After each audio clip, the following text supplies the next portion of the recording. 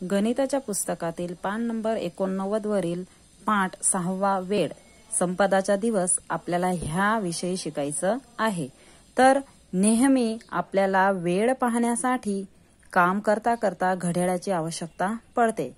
वेळेप्रमाणे आपण आपले काम करत असतो. त्याप्रमाणे इथं संपदा नावाची जी मुलगी आहे ती पूर्ण दिवसात कशा प्रकारे कार्यक्रम गोठवते ते आज आपणास शिकायचं आहे.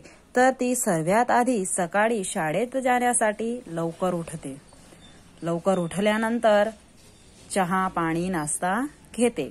त्यानंतर शाळेत जाऊन ती शाळेच्या गोष्टींचे वाचन करते अभ्यास शिकते.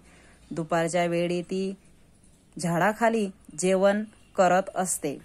त्यानंतर सायंकाळी मुलींबरोबर खेळत असते.